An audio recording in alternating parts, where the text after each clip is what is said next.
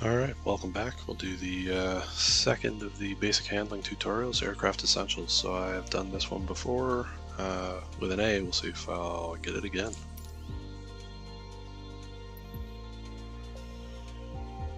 So getting familiar with the aircraft main controls and instruments, so the yoke to control the ailerons in the elevator, the rudder pedals to control uh, the rudder and steering on the ground, throttle and RPM indicator, which is the tachometer, and the airspeed indicator and altimeter should take about four minutes.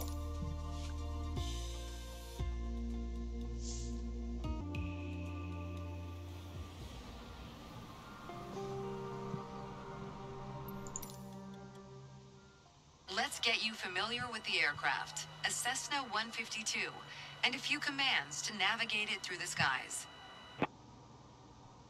In front of you is the yoke. The yoke is like a steering wheel, more or less. Turn it left or right to control the ailerons and bank the aircraft into turns. Look at the trailing edge of the wings while turning the yoke to see the effect on the ailerons. Okay. Now, the difference between the yoke and a steering wheel is you can pull or push on the yoke.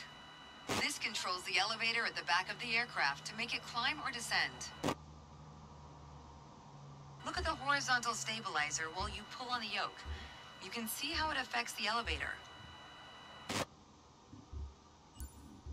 Nice. Down at your feet are the rudder pedals. They steer the aircraft when you're on the ground. The upper part of the pedals also control your brakes. In the air, they control the rudder at the end of the vertical stabilizer to yaw the aircraft. This is mostly for small corrections. For coordinating turns or compensating for a plane's tendency to pull left during takeoffs and climbs. Look at the vertical tail while operating the pedals to see the effect on the rudder. Great. Last but not least, the throttle is located near the center of the cockpit. Pushing forward will increase power. Pulling back will decrease power. First, look at the throttle and select it. Keep it selected and push it forward to increase power. Power is increased. Now, pull it back to decrease power. Power is decreased. Now we'll do the same without focusing on it. Deselect the throttle. Look away from the throttle and increase power.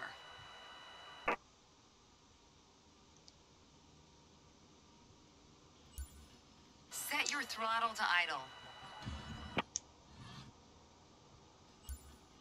Excellent. When the engine is on, On the PS4 controller I'm using, that's X and circle. indicator. You'll find it on the right side of the dashboard.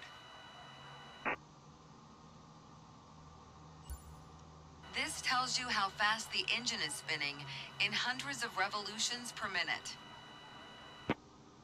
Next, take a look at your current speed on the airspeed indicator. It's on the left in the main instrument panel. It measures the speed in knots. To check your altitude, look to the altimeter. It's on the right side of the main instrument panel. The altimeter has three hands, similar to a clock. The long, thick pointer indicates 100-foot intervals. The short, thick one is 1,000-foot intervals. And the long, thin one, 10,000-foot intervals. That's all for today. Next time, we'll see how it feels in the air. Alright, nothing too crazy. See you at the next one.